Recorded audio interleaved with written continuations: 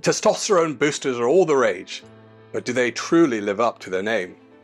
We've got a deep dive that promises to reshape your understanding. And trust me, by the end, you'll see why blood tests might not be the whole story.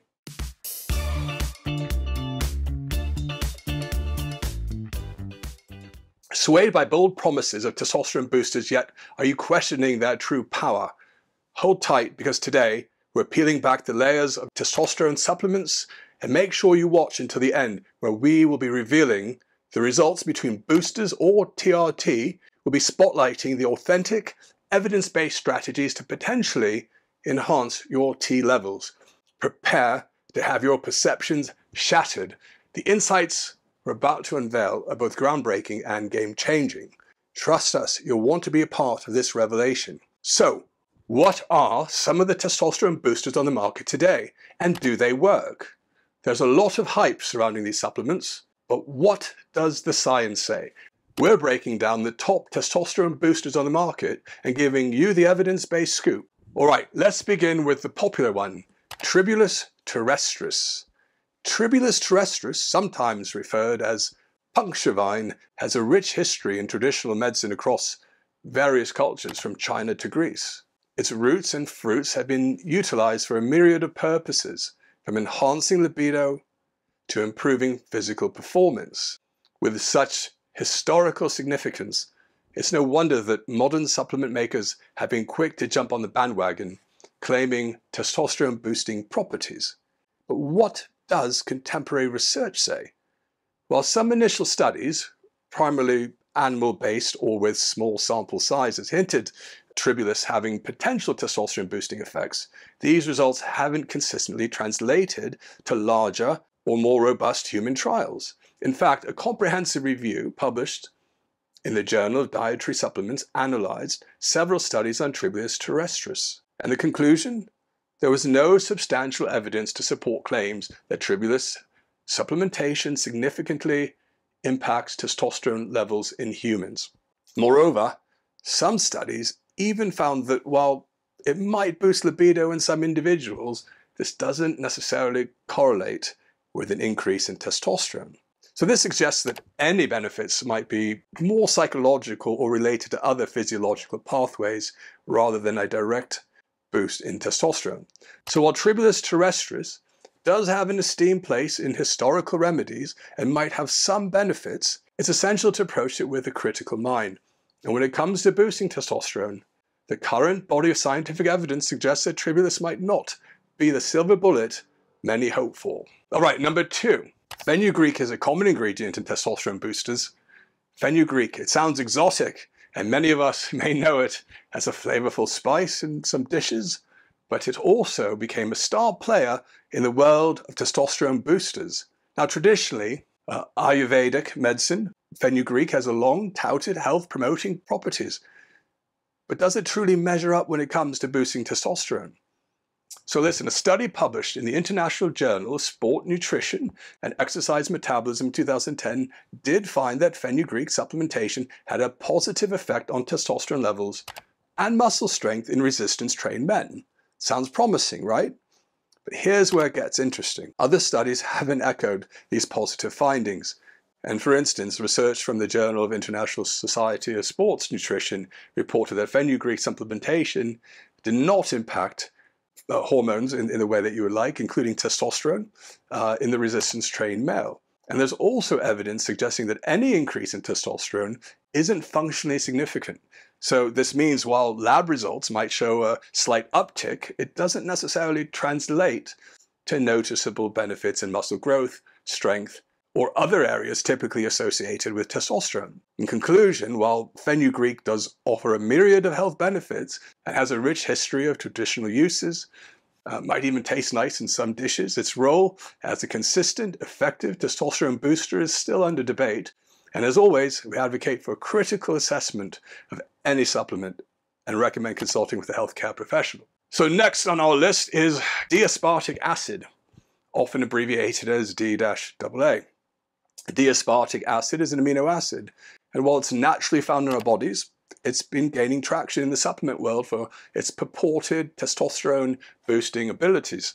So what does the scientific literature tell us about D-aspartic acid and its effect on testosterone? Well, a study published in 2009 in Reproductive Biology and Endocrinology found that D-aspartic acid supplementation increased levels uh, of testosterone by 42% after just 12 days in healthy men. These findings ignited enthusiasm, and we can see why in the fitness and health community. But before jumping on the D-aspartic acid bandwagon, it's crucial to have a look at the, the bigger picture because another study conducted in 2013 and published in the Journal of International Society of Sports and Nutrition had resistance trained men supplement with D-aspartic acid.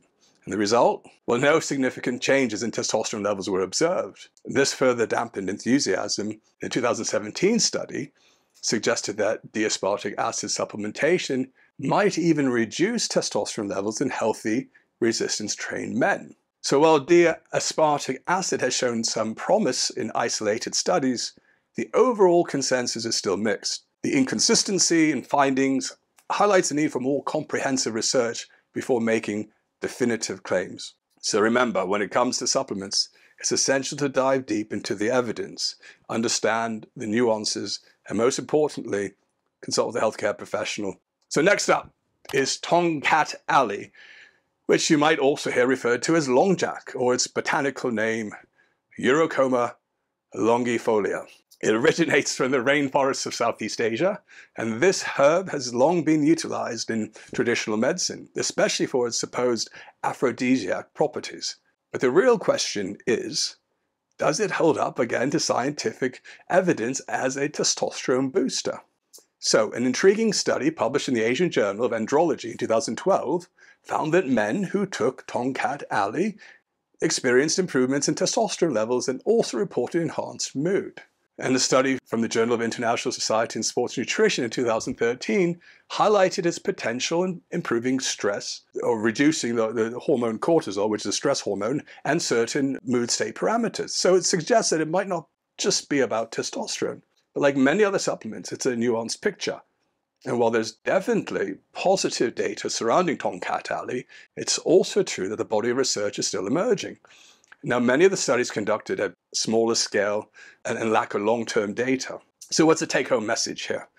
Tongkat Ali shows promise, but as with any supplement, it's essential to approach it with an informed perspective, and more comprehensive large-scale studies will provide a clearer understanding of its potential benefits. Now, We've touched on Tongkat Ali's potential as boosting testosterone, but here's another fascinating angle that I remember from a while back in 2009, and its role in regulating prolactin. Now, prolactin is a hormone that, when elevated, can suppress testosterone production. In men with high prolactin levels, they experience uh, symptoms like diminished libido and erectile dysfunction, maybe even enlarged breast tissue. So, how does Tongkat Ali fit into this picture?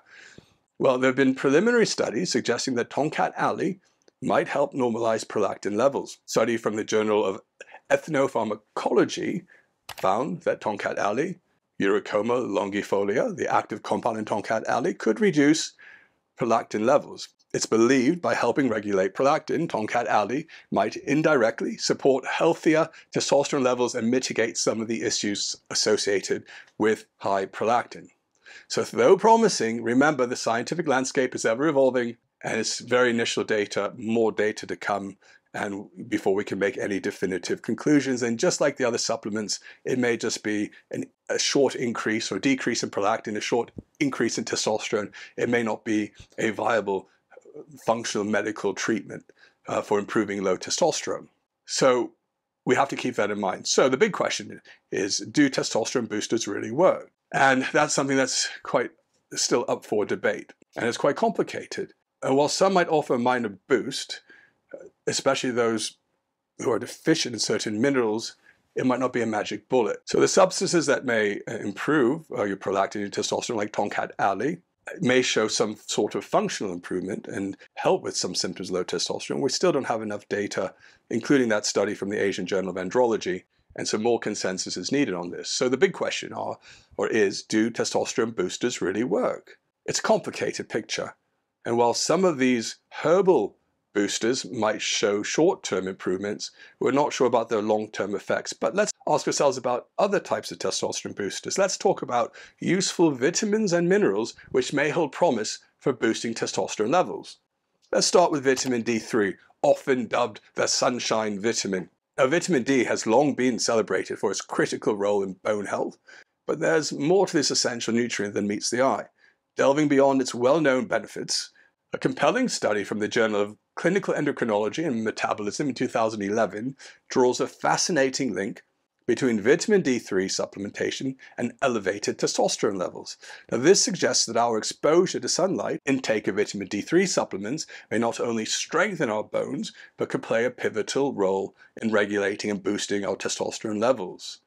And the implications of this potential discovery could reshape our understanding of how interconnected our body systems truly are. Now, with vitamin D3, I also uh, personally take vitamin D3 always with magnesium and vitamin K2 uh, to balance out the effects, uh, unless you get vitamin D3 from sunlight. So, of course, having knowledge is your best tool. And if you've enjoyed this video so far, please press like and let us know if you agree or disagree with our picks. But we're not over yet because the next supplement would be zinc. Uh, zinc, it comes in many different forms. There's often an unsung hero in the realm of minerals, and while it's widely recognized for bolstering our immune system, the spectrum of its benefits is vast and varied. Beyond its critical role in wound healing, brain function, and growth, zinc emerges as a potential powerful powerhouse in hormone regulation, especially testosterone. This is why you see the ZMA supplements. Uh, zinc is part of that ZMA.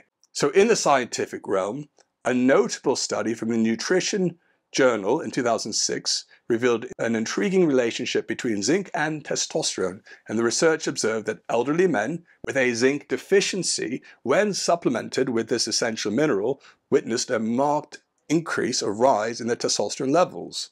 Now, such findings underscore the importance of maintaining optimal zinc levels, not just for immunity, but also considering it as a pivotal player in the realm of hormonal balance and overall well being. But also consider this if you're deficient, that's one thing. If you're not deficient, will adding more zinc actually help? And, and that's still to be determined. So Anyway, the next time we think of zinc, it's essential to recognize its multifaceted role in our bodies. Um, you may not want to add more zinc if you have healthy natural levels of zinc, and because the body has this intricate dance of biochemistry. So, as astounded as you might be by zinc, there's another mineral, a mighty mineral you can call it, magnesium.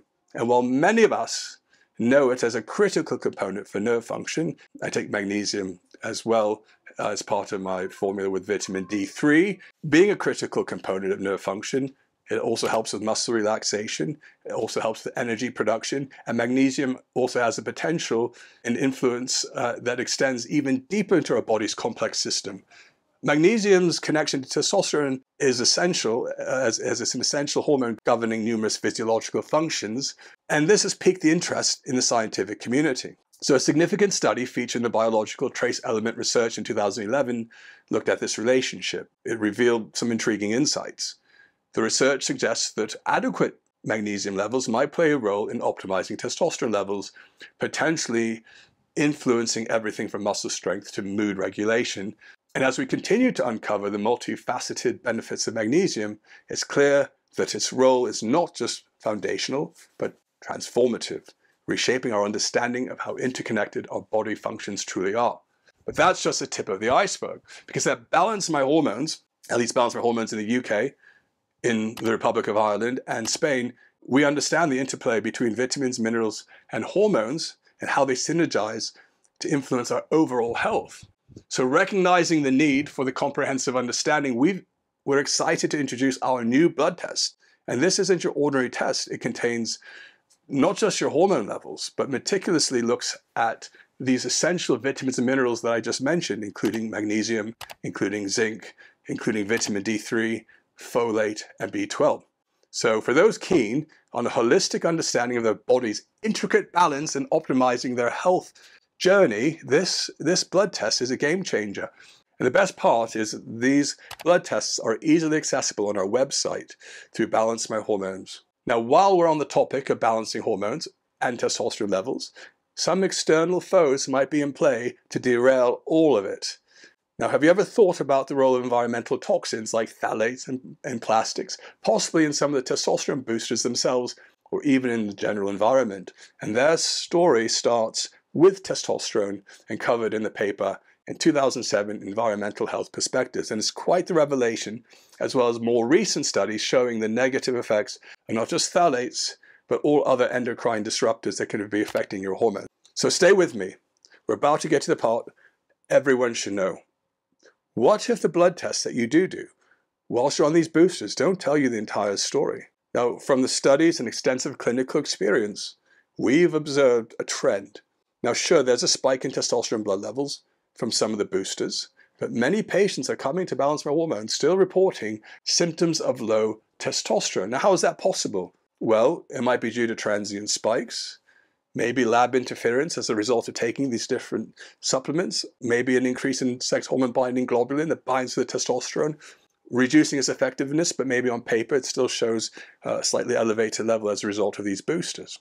But what's on paper isn't always what's happening in your body. And understanding these intricacies can be the difference between merely feeling okay and feeling alive. So, where does that leave us? Nature's marvels, lab tests, and the underlying truths. Equip yourself with knowledge but remember, always consult with professionals. Contact us at Balance My Hormones. And if you want to take a deeper dive, ask questions and be informed. And I know this has been a whirlwind of insight. Did you find any of this surprising? Did you like what we had to say? Spread the word.